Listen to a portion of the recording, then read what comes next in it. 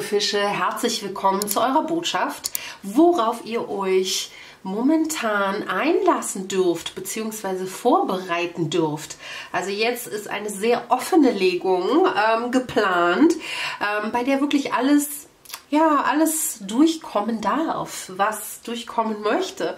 Und ähm, da wir natürlich sehr heftige Veränderungen haben, besonders wie Fische, egal wo ihr die Fischeplatzierung habt in eurem Geburtshoroskop, ähm, das werden jetzt interessante Dinge, ähm, die in den nächsten drei Jahren sich verändern, ähm, durchkommen. Denn wir haben natürlich den Saturn, der jetzt bereits in unser Zeichen gewandert ist. Und ähm, ja, wir schauen einfach mal, worauf wir uns so durch vorbereiten dürfen. So, ich beginne mal mit Orakelkarten. Das mache ich selten. Aber, das heißt, auf dem deutschen Kanal mache ich das selten.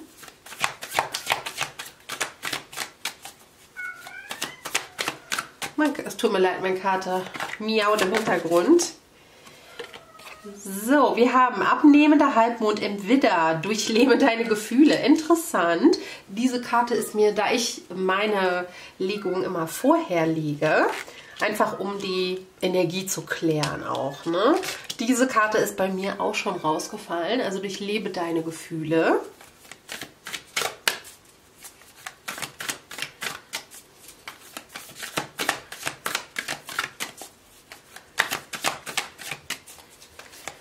Was sollen Fische wissen? Ach. So. Abnehmender Halbmond im Steinbock. Lass die Vergangenheit ruhen. Also für mich bedeutet das hier, ähm, wir sind in einer sehr heilsamen Phase momentan für die Fische. Ähm, also ihr dürft die Dinge jetzt durchleben. Und das muss nicht unbedingt angenehm sein. Es muss aber auch nicht schlimm sein, denn es können Sachen sein, äh, mit denen ihr dachtet, schon abgeschlossen zu haben. Und daher kann es sein, dass dann nochmal ein letztes Aufbäumen ist, damit wir es endgültig verarbeiten können, abhaken dürfen. Ne? Und manchmal löst uns das äh, für wunderbare neue Gelegenheiten. Also indem wir etwas abstreichen können, von dem wir dachten, okay, ne, das können Blockaden sein. Ich bekomme manchmal Kommentare, die sagen, ich weiß nicht, was ich noch tun soll. Ne, und das kann so etwas sein, dass etwas nicht vorangeht, dass hier noch so eine letzte Blockade ist, die unsichtbar ist für uns. Ne? Und gerade da jetzt der Saturn aus deinem zwölften Haus, wenn du ähm, natürlich Fische im Aszendenten hast, ich rate immer dazu, die Aszendenten auch zu schauen. Ne? Aber wenn du Aszendentfische bist, dann ist jetzt der Saturn aus deinem zwölften Haus ins erste Haus gelaufen. Und das erleuchtet sehr viele Dinge. Das zwölfte Haus steht für unsichtbare Dinge, für Rätsel und Geheimnisse, Unbewusstes, das wir nicht lösen können auf der bewussten Ebene. Und das kann jetzt noch einmal beleuchtet werden, um es abzuschließen ne? und endgültig abzuhaken. Das kann, wie gesagt, die Blockaden, die du nicht gesehen hast, weil du denkst, ich habe doch alles getan. Ne? Das kann die letzte Blockade sein, die sich gelöst hat. Und danach ist es so, als würden sich alle Türen öffnen, als würden sich die Fenster öffnen, die Frühlingsluft kommt herein, obwohl momentan ja nicht viel mit Frühling ist, ähm, aber das kommt. Und ähm, ja, es ist ein frischer Wind ne? und die Möglichkeiten öffnen sich. Das ist sehr, sehr schön. Vielleicht hätte ich damit anfangen sollen, aber wir schauen einfach mal, wo sich denn jetzt die Wege hin öffnen, wo sich die Türen hin öffnen. Ja, die sind etwas spezifischer, die Karten. Oh, wir haben ein neues Heim. Äh, Umzug ist ein Schritt in die richtige Richtung für dich. Also wenn du ähm, darüber nachgedacht hast, dir eine neue Wohnung zu suchen, umzuziehen, dann kann sich das jetzt öffnen. Vielleicht findest du das perfekte Heim für dich, die perfekte Wohnung. Ähm, vielleicht kommt auch Geld rein, sodass du dir ein Haus kaufen kannst. Mhm. Also hier äh, kann es etwas mit einem neuen Heim oder Haus zu tun haben. Dann haben wir Geburtstag.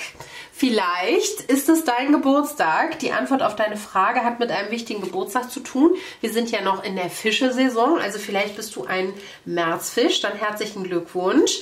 Ähm, das kann also mit deinem Geburtstag zu tun haben, dass sich hier etwas öffnet. Ähm, Das können viele Sachen sein, aber vielleicht lernst du jemand sehr Wichtiges kennen auf deinem Geburtstag.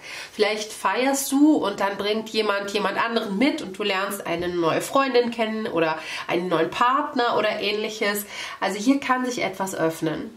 Und dann haben wir hier und das ist so witzig. Ist das nicht fast das Gleiche? Gestehe dir deine wahren Gefühle ein.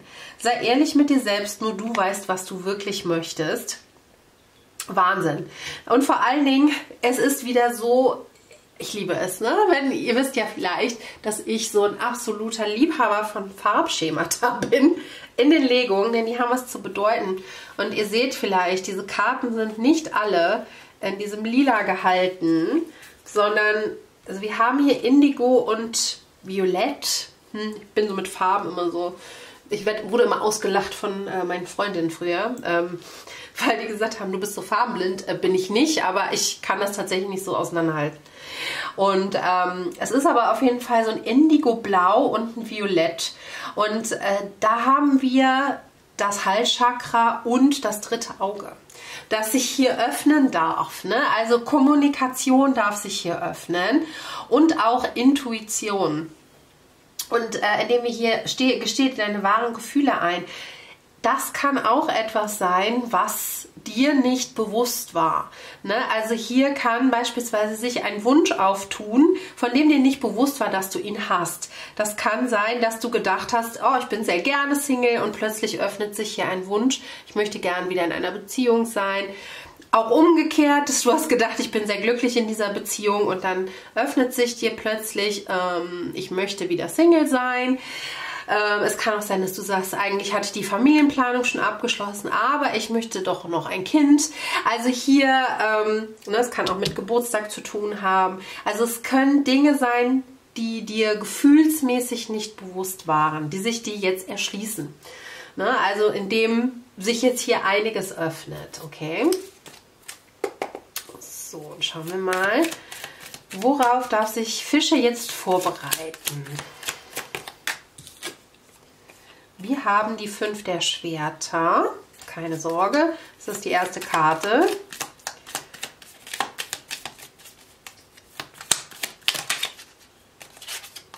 Oh, interessant. Dann haben wir die sieben der, ähm, der Kelche, die zwei der Schwerter.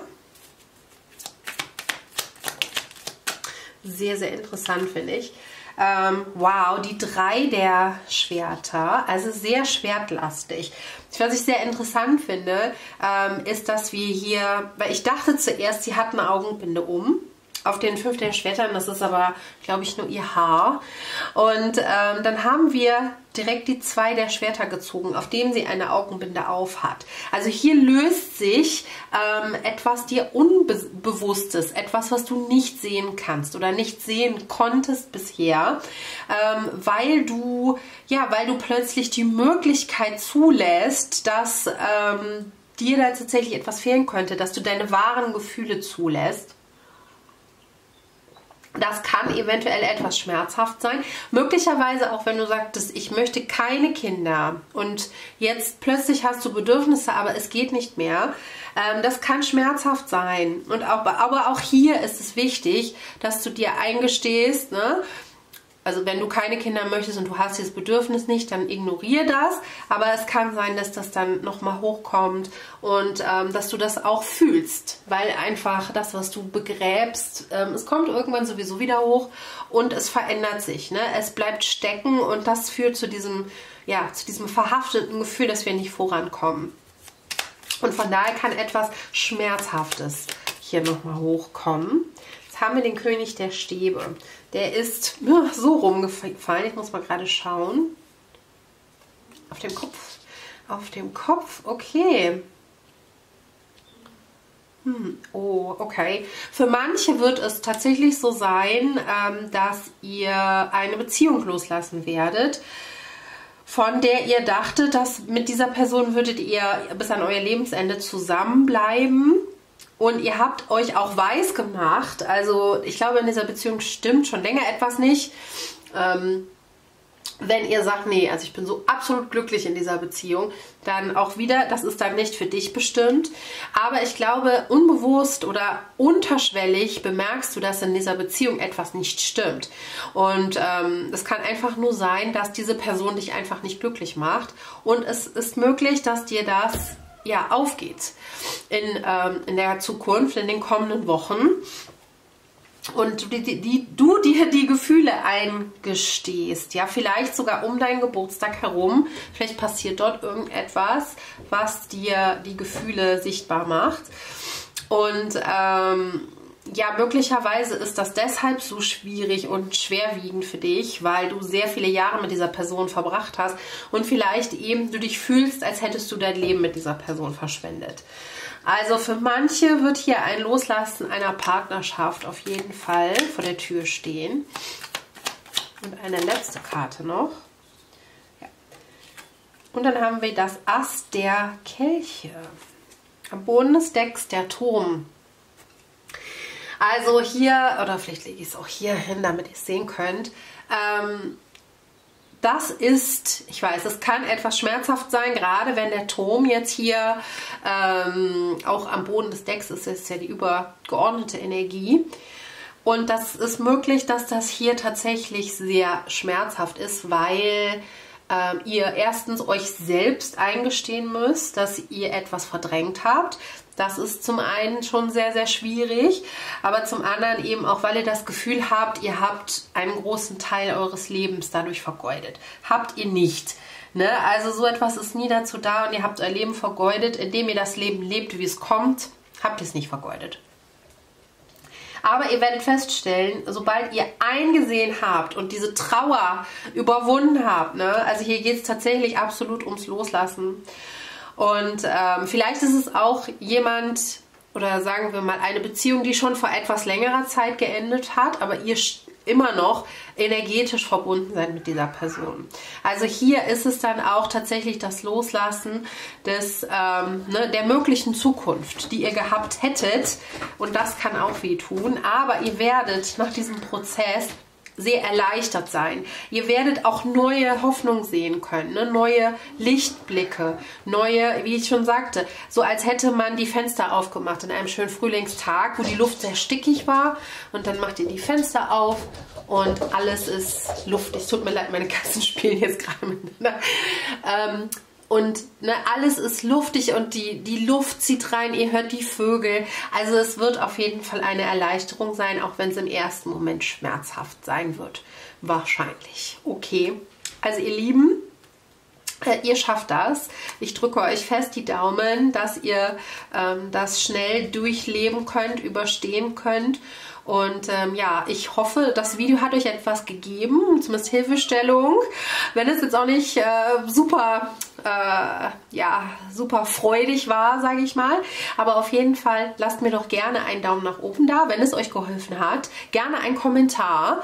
Ähm, wenn es sich um das Thema dreht, natürlich gerne. Ähm, auch negative Sachen, aber ähm, ich möchte bitte, dass die Kommentare auch positiv gehalten werden in meinen Kommentaren, ja. Und wenn das nicht passiert, dann werden die Kommentare auch gelöscht. Oder ihr bekommt einen Kommentar von mir. Und das wollt ihr auch nicht. Ich habe Skorpion Mond. Ich kann sehr böse sein. und ähm, auf jeden Fall wünsche ich euch einen wundervollen Tag. Ich danke euch, dass ihr da wart. Und äh, ach so, wenn ihr mich noch unterstützen wollt, natürlich könnt ihr das. Schaut mal in die Infobox oder in den angepinnten Kommentar. Dort findet ihr alle Infos und ähm, ich hoffe, wir sehen uns ganz bald wieder. Bis dahin, ciao.